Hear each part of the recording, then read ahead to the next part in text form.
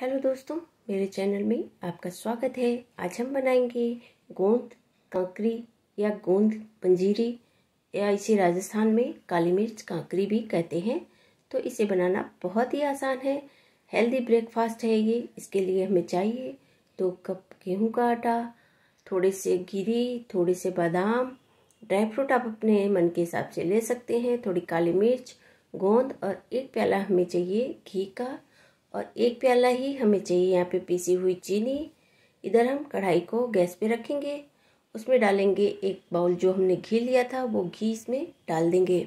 घी को अच्छे से हमें गर्म कर लेना है। गोंद पंजीरी एक हेल्दी ब्रेकफास्ट है। इसमें जो गोंद होता है, वो जोड़ों के लिए बहुत ही अच्छा होता है। इसे स्टोर करके हम महीनों तक रख भी सकते हैं। तो देखिए, यहाँ पे घी को हमने अच्छे से गर्म कर लिया है। इसके बाद गोंद को हम हाथों से थोड़ा थोड़ा करके डालेंगे और ये जितना गोंद है, इसमें हम तल के निकाल लेंगे। घी में हमें गोंद को तल के निकाल लेना है। देखिए ऐसे हम एक साथ डाल देंगे तो सारा गोंद चिपक जाता है। अगर हम थोड़ा थोड़ा करके डालेंगे तो ये अलग अलग दाने इसके रहेंगे। गोंद पंजीरी को बना के हम कई दिनों तक स्टोर कर सकते हैं। और ये स्वीट भी है। हेल्दी भी है, पंजीरी टाइप की भी है, प्रसाद में भी चढ़ा सकते हैं। इसको हम ऐसे भी खा सकते हैं, डेली नाश्ते में खा सकते हैं, जब हमारा मन करे तब इसे बना के खा सकते हैं। तो ये बहुत ही अच्छी लगती है खाने में। बहुत जल्दी और बहुत आसानी से बन जाती है ये गोंद पंजीरी या काली मिर्च कांकरी।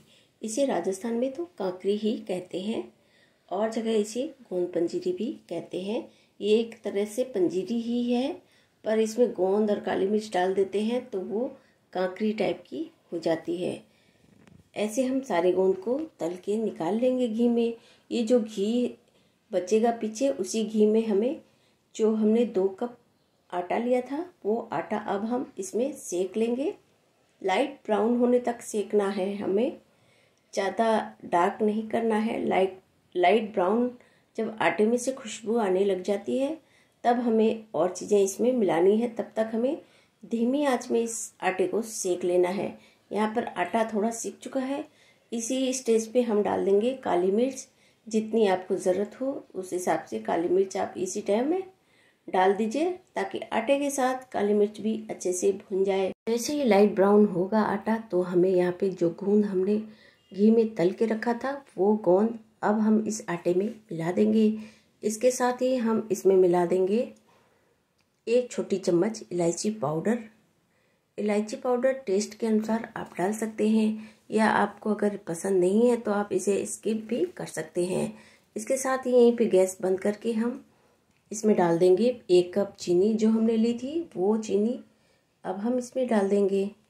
गैस बंद कर देंगे और इन सबको अच्छे से यहाँ पे मिला लेंगे। तो लीजिए हमारी गोंद पंजीरी और काली मिर्च कांकरी ये तैयार है तो लुप्त उठाइए इसका और कमेंट करके ज़रूर बताएँ कि ये पंजीरी या कांकरी आपको कैसी लगी।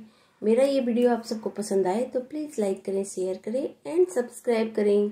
जो मेरे चैनल पे नए हैं, वो मेरे चैनल को सब्सक्राइब करना बिल्कुल ना भूलें। बेल आइकन को ज़रूर प्रेस करें ताकि आने वाली वीडियो आप तक पहुँच सकें। और कमेंट करके ज़रूर बताएँ कि ये रेसिपी आप सबको कैसी लगी। Thank you so much